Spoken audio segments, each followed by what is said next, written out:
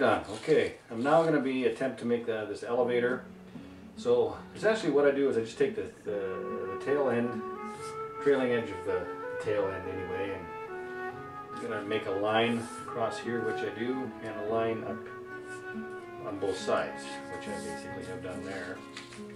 Now I design my, how big I, I want the rudder to, or the elevator to be. Uh, do I want it to be oversized? You know, what kind of, again, this is uh, all for 3D flyers and, and the authority in your elevator and rudder are so important. Just took my ruler, or my straight edge in this case, and said, okay, well, I'm going to make it that thick in each side, so I drew, you know, straight line all the way down, okay? And then I measured for size, see what kind of what kind of length I want to get, and I want to start off with uh, the front being zero to five inches this way, and I found my center of the rudder, measuring from here to here. I make a center line, and I just draw the center line. The reason for the triangle is because that's where the actual rudder is going to move this way. Okay, so this area here has to be cut out. Uh, the only way I can get them the same is to draw one side and then flip it over and trace it and draw that side. So I'm putting a new kitchen floor and I don't have to worry about this. So I'm going to cut that right there. Remember a little bit ahead from your from your start point so you get a nice flat cut. And do the same thing here. Again, line it up on the line. Before the cut, sort of push forward and then gently pull back. And you know, you do your second score and she's through. And that should cut that. And this one square is a good, very good tool to have. Because, uh, well, it's good to have things square, as square as they can be. All right. Now, this is where I'm going to follow this line here. Cut this out. This is my center, so I'm going to cut my center line.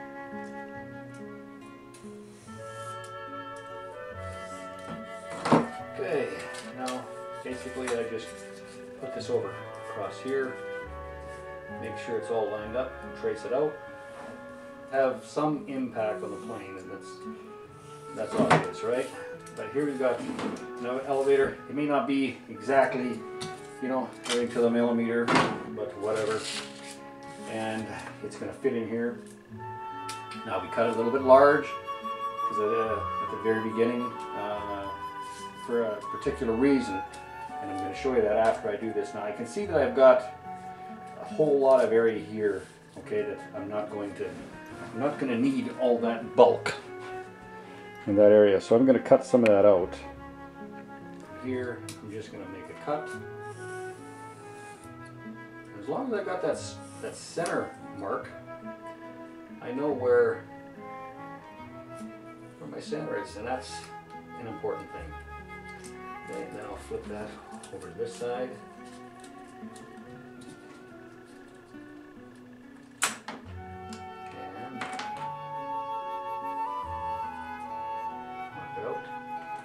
It's so crafty.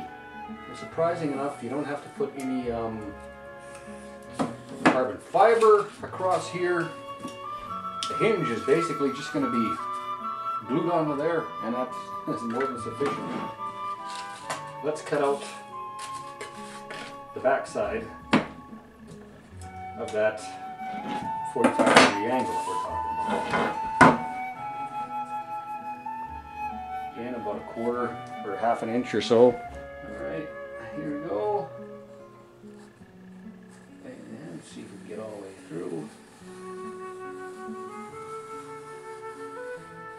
There. Looks like I might have went a little bit off center there. We're very, very tight, so I'm going to just take just a hairline off this side of the horizontal stab. And a hairline off of this side. Okay, so that's going this way. Now we're going to push this all the way up tight And we're going to use our straight edge and follow the contour of the beveled stab, like so. Okay. And the same goes on this side here.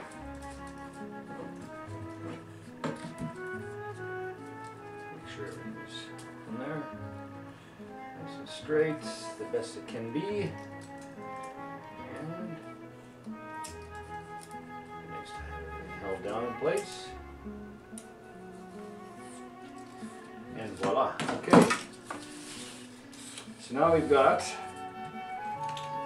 our elevator. Just two little small, small pieces to start. Just one at the edge. This edge, because we're going to use the reinforced tape for our real seal. And I'm going to just make sure this is not binding anywhere and set it at the 45 degree angle. Taper down. Other side.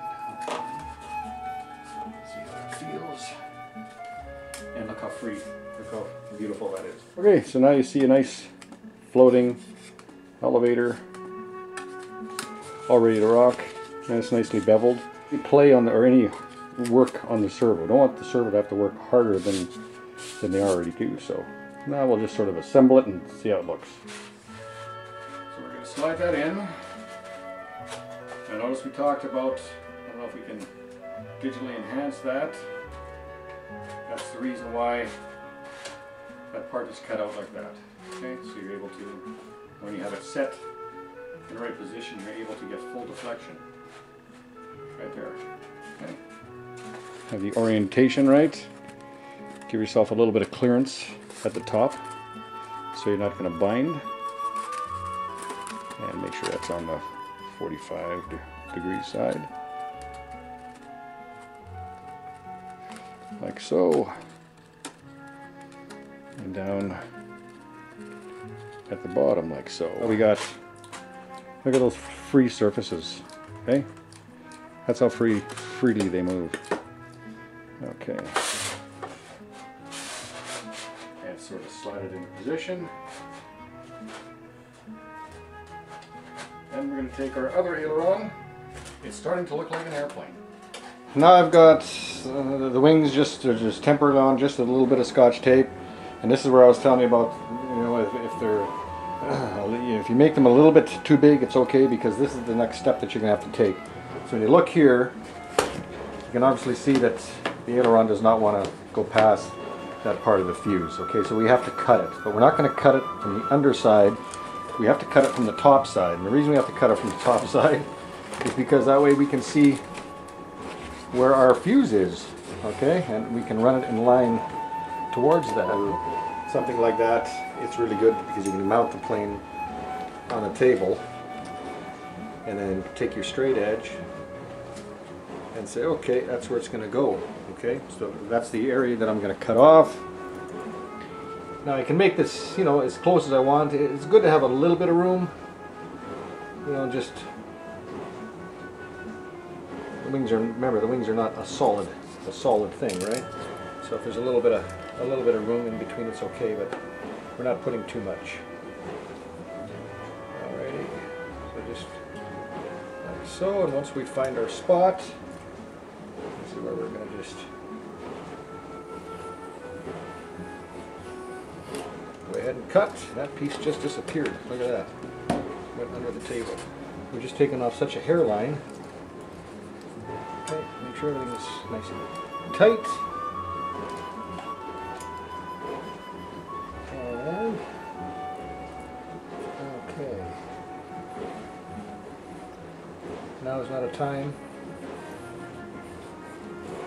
For that knife to slip off that straight edge. Okay. Now you can see we've got a really nice, look how free those ailerons, the ailerons here are just hanging, just beautiful. Okay, all the surfaces are just like that. This, we can use CA for this, Uh, you don't have to use foam safe CA. And what we're going to do, is we're just going to kind of give a slight little push, separating the, the fuse from the wing. And just, just, you know, watch some of the glue just sort of go in there. Not a ton of it.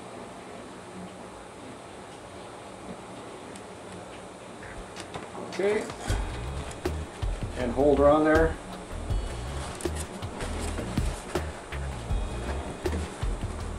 Just pushing it down, giving a little bit extra reinforcement. You don't want to use a ton of glue the glue doesn't have to go all the way up and down both sides of the fuse and double up everywhere because remember when you have an ounce of glue, that's an ounce. You know, that adds to the weight of the plane. So whatever you can get away with, so ever so slightly. And I'll just take a shot of exciter. So, so I'll do that same to this side. I'll do a little bit of glue uh, under both sides here. I'll leave a little area though for a servo because the servo is going to get mounted here and I don't want to have to fight with any glue. So I'll mark out a little area for servo and just glue there. And, and I'll just basically just, you know, put some glue over some of the areas where it has to be, you know, and then we'll do a little bit on the front end. Finish the taping and we're basically done from there. So let's do that. I was talking about taping. Okay, so what, I, what I've done is, is I've just put uh, some reinforced, this is this, it's like a nylon tape with a uh, reinforced string. And I've done the same thing on the 45, okay?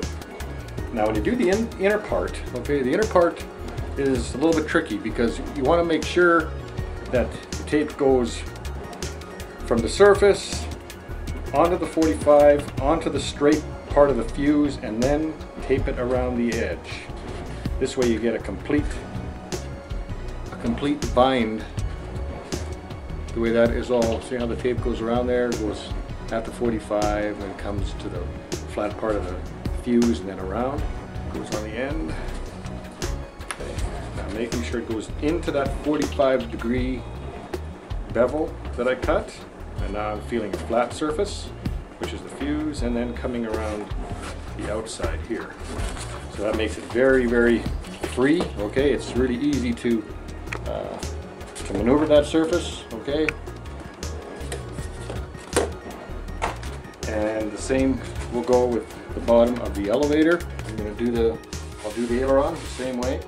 And then, because it's so much tape, I'm just gonna do it in little, little pieces, okay? One at the end, say one in the middle, and one closest, close, closest to the inside of the fuse there. As far as the nose, all as I did was just basically just follow the what I had drawn in before and cut it square. Now I'm gonna make some doublers uh, in a moment just to reinforce the bottom. And it's real simple to do, show you how to do that because I'm building this for a friend of mine and uh, so see how that's going to work. So let's get the doublers going. Doublers are simple, okay? What they do is they just double up the strength, okay? So I got the plane upside down and I just make some square, just some square cuts. And, you know, I've gone at one time where I used to make them all the way to the leading edge of the, of the wing, you know what I mean? Pieces in the back, all over the place, you know, two each side. And you don't really need that, okay? Because they're, uh, the lighter they are, the better they are, the better they are if they if, if, they're lighter and they crash, less damage, okay? So that's something to think about. So I got the plane upside down and I've got these doublers. And these doublers I've got in length are roughly about three and a half inches, okay? So what I want to do is I want to be able to match them, um, butt it up the side, okay? Make it nice and tight inside here and then tight here and then just cut uh, later out uh, with a knife to make it a, a, nice finish. So what I do is I say, okay, the doubler is going to be here. So I'm just going to make a little, little mark right there and a little mark right there. So I know this whole area inside here needs a little bit of glue. Okay, I'm to stay within these lines here. Okay, just make a small little little bead here. And again, this is done on the bottom half of the plane because the, the lighter it is, the better it is. And cosmetically, on the bottom is nicer because you don't see these lines on the top. See that that blue there, but that's okay. It's all about scratching. These planes are, are designed to fly, get them up in the air as fast as possible. You know, it, it's, it's not meant to be the most beautiful plane ever designed, you know. But I'm starting to think, man, it's got to be close up that alley because these planes fly nice. Man, do they fly. This one is done. And basically going to do the same just to this half. Okay, this half and this half, and then we're going to keep the, the top free. But let's go on now with our knife and see if we can sort of cut that out. And a sharp knife is is better. Okay, what I normally do is I just sort of give it a, a score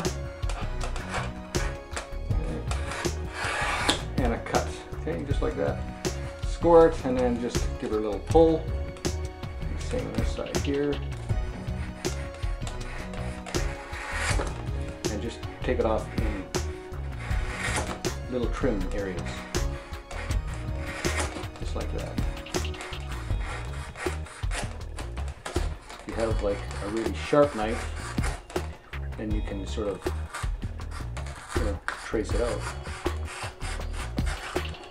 These knives are not too bad though. These little Olfa guys. When that's complete, what you see is we've got three layers at the bottom.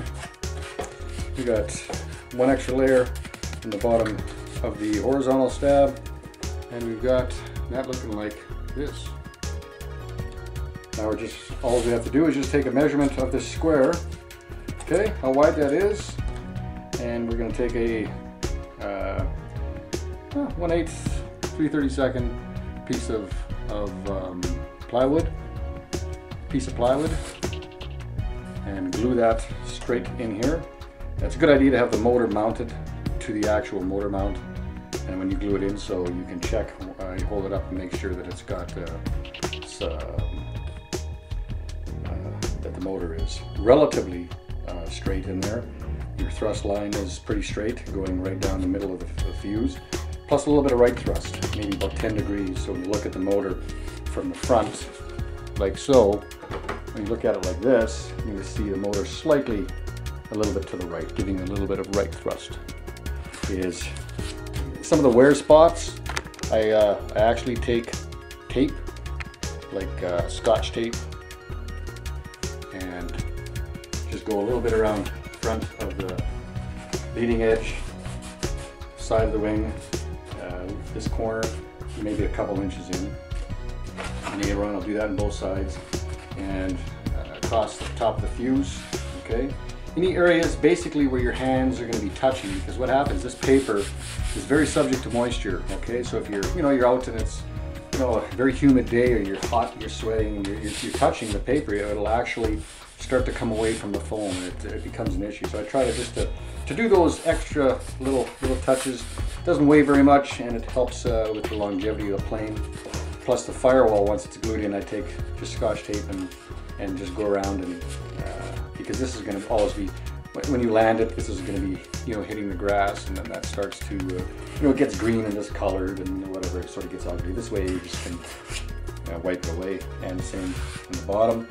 And finally on the tail, on this little dragger, I'll wrap that up pretty good uh, using some of the, the tape that we use on the, the, nylon tape that we use on the surfaces, just because it uh, it's constantly you know sitting on there. You have to set it off the ground. It's always sitting on here, so except when it's in the air. So, and when it's actually finished, just take a quick little boo on how that's.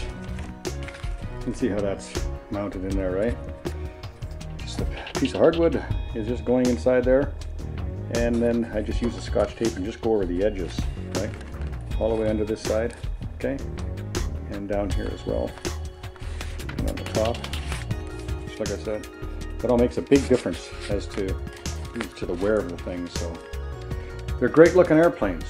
Uh, these scratches, like I say, you can build a scratch, look like one of the coolest flying airplanes, I think. Good luck in your build. I am your Radical Doodboy. signing out.